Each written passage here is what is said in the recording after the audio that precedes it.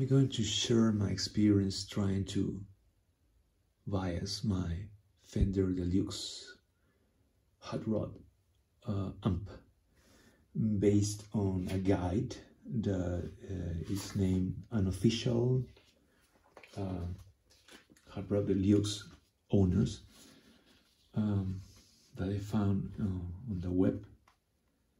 Um, why am I going to to bias my amp? Because uh, I noticed some problems. Uh, my clean sound is isn't good enough uh, when I go beyond uh, 1.5 in the clean channel, and I have 12 points to go up uh, when I pass that value of 1.5, the sound be be becomes uh, to saturate and to distort. And to my opinion, it's so a low point to have saturated a clean channel. Uh, another feature I found that concerned me is that one of the big tubes, the power tubes in this power section of the amp, this is the preamp section with the tiny tubes. This is the power part with the big tubes. One of them is always hotter than the other. It's lighter. The the uh, it shines more like orange, and it has a browner color that uh, it shows it it's going so hotter than the other. So I I I read about uh, biasing. What is biasing an amp is uh, choosing the correct electricity that goes through the power tubes. Uh, because when it's too low, or named cold, uh, cold bias, uh, you got a, a bus in the lower frequency that is called uh, crossover uh, distortion and the sound you get from your amp is, is described as uh, stereo. Uh, on the other hand, with the, you got too much electricity passing through the amp uh, power tubes, uh, you get this problem that you you don't have uh, the, the gap enough of clean sound in the clean channel. It becomes too saturated too quickly, and also it because your tubes are running hot always, uh, their lifespan shortens. So concerned with that, I read this guide and I have encountered some problems. I took the the back panel and then I uh, we're going to use a multi-tester and the black probe, which is the ground one, uh, is, is uh, set it uh, here in any part of the chassis with a clip.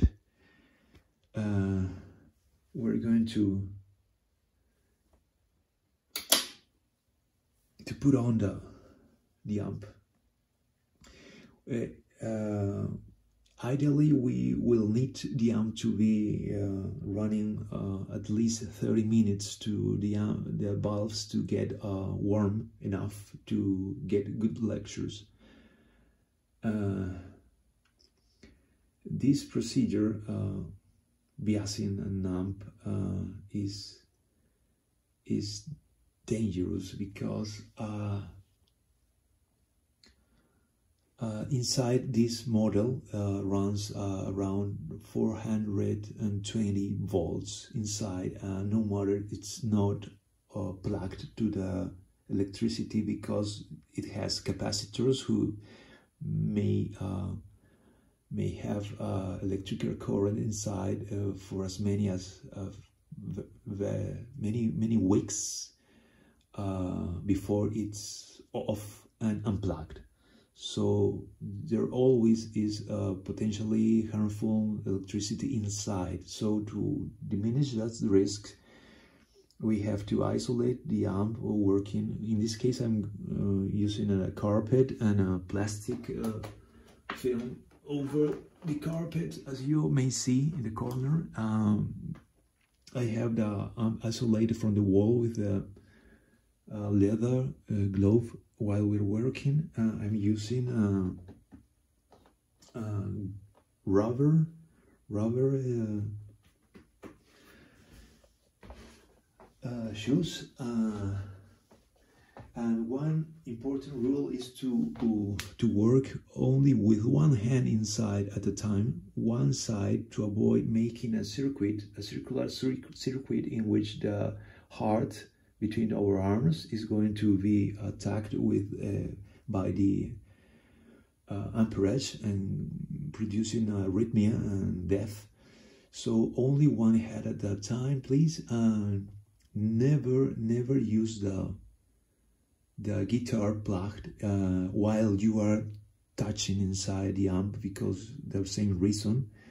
Uh, for biasing, uh, we have to Biasing requires that there, there is no signal inside the amp while you are taking the lectures and calibrating it.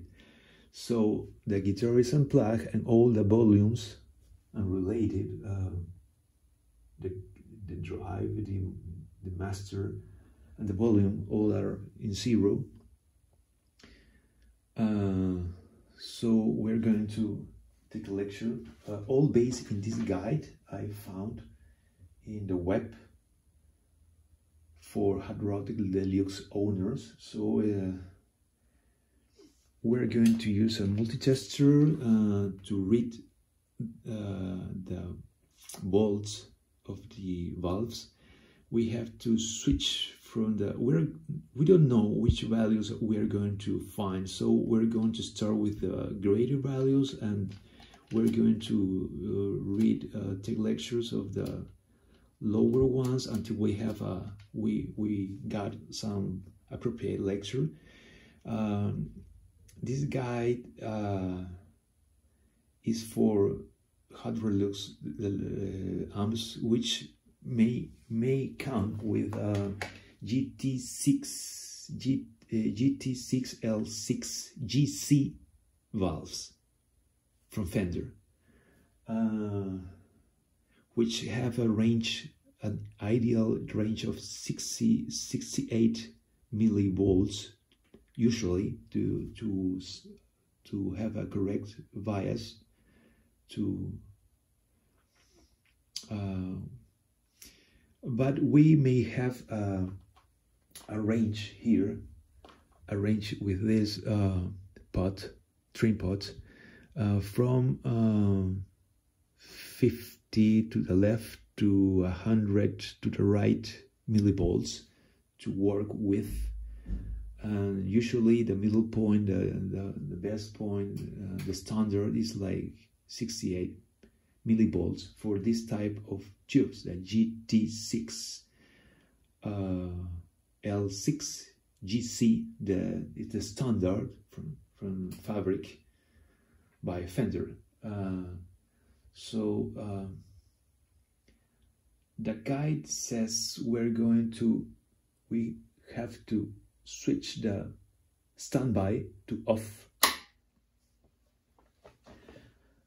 Uh,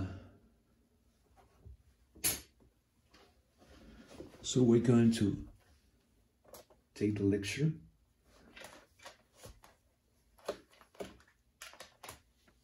at this point. Um, one point for the lecture is uh, the chassis for the black uh, probe or lid, and for the red lid or probe, uh, we have to choose this voltage input plug. So uh, we're going to to put it in uh, the the highest range. Uh, we got here, we got, we have no lecture. So we ran through the next, no lecture. We went to the next, no lecture. No lecture. So we may expect we have a, a correct lecture around 68 here no lecture. So what? Uh, I was thinking how to make some variation, so I thought maybe I would uh, I will get the, the stand, standby switch on on. So I found that here.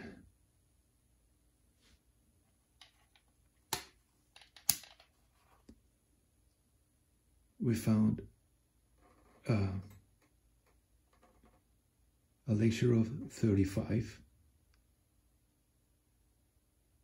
I mean 35 so in the range we expect uh, below 200 millivolts we have the same. We have 35 millivolts. How could it be if we must expect a range midpoint of uh, 68 I was wondering why uh, I found that uh, we are in the mm, fabric calibration that is right just right in the middle they put a, a seal of uh, brown painting to to mark it. And if we if we make uh, if we change it we we must go all full to the left and we have a lecture of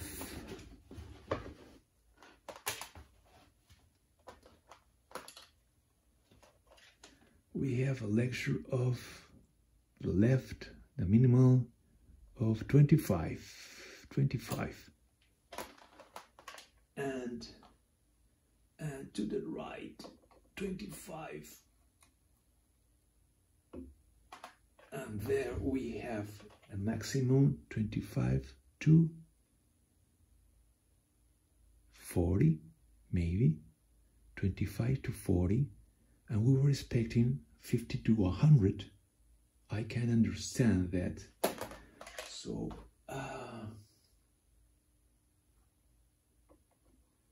I was wondering why until I noticed that this is a fabric, original from fabric uh, Fender Hot Rod Deluxe. Uh, I bought it new from a store, uh, Guitar Center, but the tubes that have the, the sign on Fender, they're, uh, they are not GT6L6 GC, as expected from the guide, but are if we stand on the guide, these are tubes of a so bad company that is named Groove Tubes. We have the brand here, Groove Tubes. They are not good ones and it's not okay to these tubes to be set in this amp. These are the, they are in the list uh, an owner must avoid because this person, the person who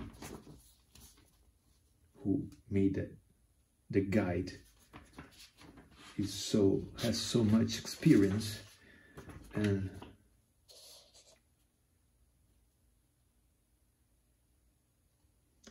look you have here this brand Groove Tubes 6l6 practically every time i get an email from someone complaining about their amp how it cramped.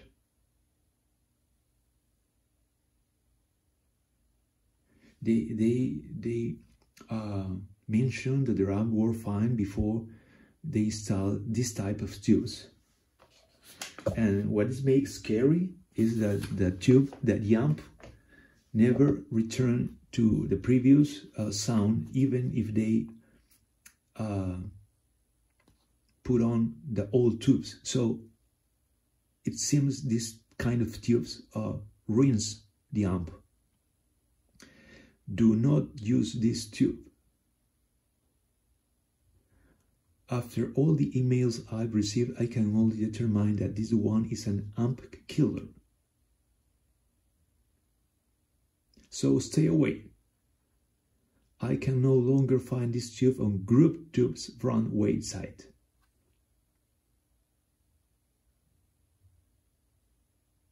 If you use any of these tubes, do not be surprised if the tubes go and the amp goes with them.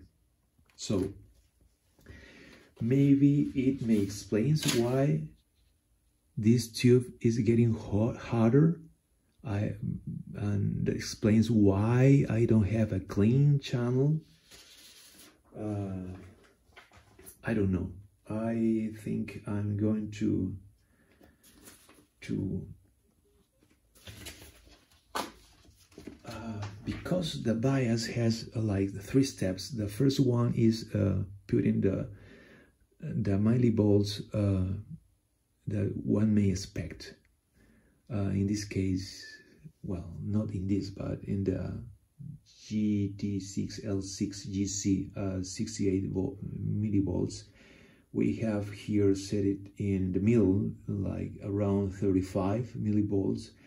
So I will try, I will try uh, to make the uh, the trial I will connect the guitar and the clean channel so I may do the procedure as if I were uh, biasing by ear. I should expect to have a clean sound even until 6 in the clean in the clean channel. So I'm going I, I'm using an attenuator. We're going to prove in this uh, lowering the point to the left so we can maybe clean up the saturated sound up to the 1.5 that is usual in this amp. And the other point is uh, I'm going to to change because this this uh, what this is telling us is that these tubes are mismatched one is hotter than the other one is browner than the other so they are they have become mismatched if they sometime were matched at all. Now we have we know this uh, Groove Tubes is not a, a, reliable brand, so I will have to. I'm concerned. I, I may have to do this uh, quickly because uh, we have read read that this is a killer amp tube. So uh, I may have to find a replacement quickly. So I'm going to plug the guitar and we're going to make this trial so we can uh, confirm if this is really really changing our uh, so our sound uh, excuse me we're going to go with that biasing to the left to confirm. Let's go to the extreme left. So we confirm if there if it's um, a bass in the low frequency that as described. Let's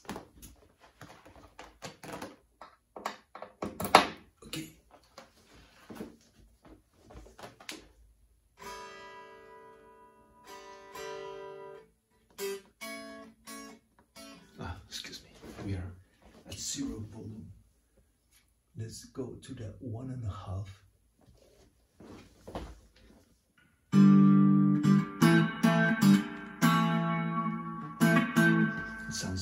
Me.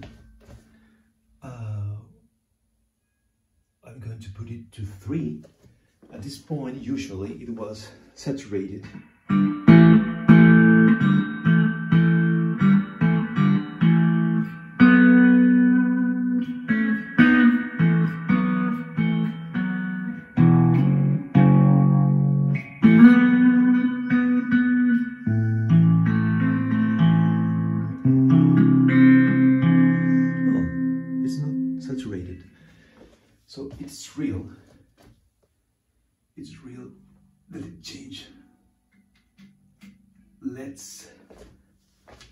Confirm it by turning the the pot to put it the bias harder so we might confirm that at this point we must have a saturated sound.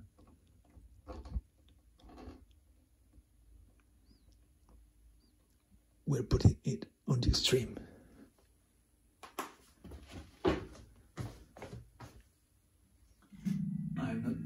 Inside. I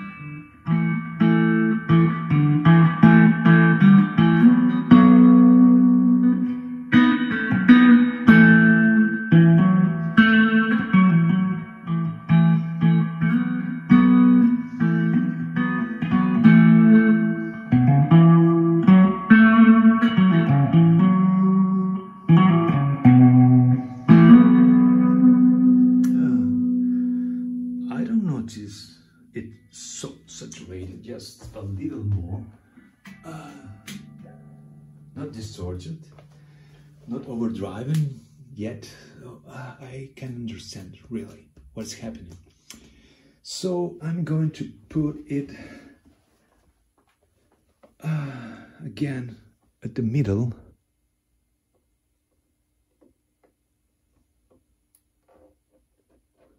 Where I may, where it was originally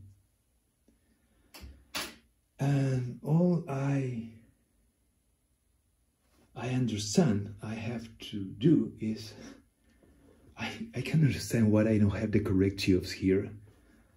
Uh, why Fender sent me these these tubes.